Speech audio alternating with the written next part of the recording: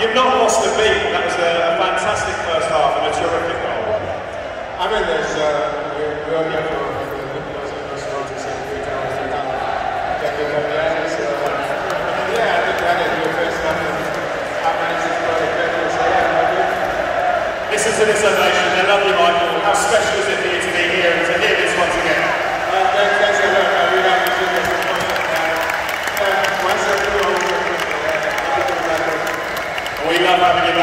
Bridge once again is here for the brilliant Michael.